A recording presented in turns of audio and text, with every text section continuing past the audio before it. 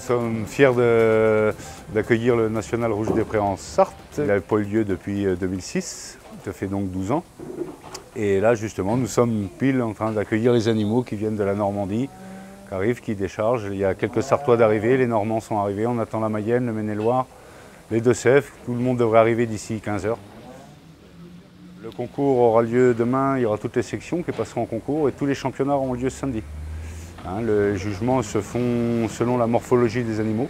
Le juge euh, nous vient du Maine-et-Loire et il sera juge unique et ce sera son, travail de juger au mieux les animaux. C'est une race à fort développement squelettique et musculaire avec euh, beaucoup de poids. C'est des animaux qui ont un, gros potentiel de poids de carcasse. Une race docile, très docile. Cette race est, née dans la région des Pays-de-Loire puisqu'elle est, est née à Chenier-Changé en 1908 par le croisement d'un taureau du rame avec la race locale qu'on avait en Sarthe-Mayenne, Maine-et-Loire qui s'appelait la Mancelle. Euh, c'est une race qui a une dizaine d'années a obtenu une appellation d'origine euh, protégée.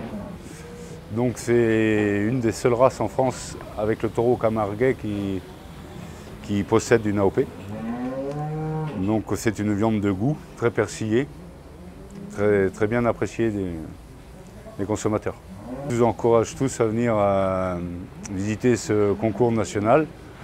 Je vous dis qu'il aura lieu du vendredi au samedi.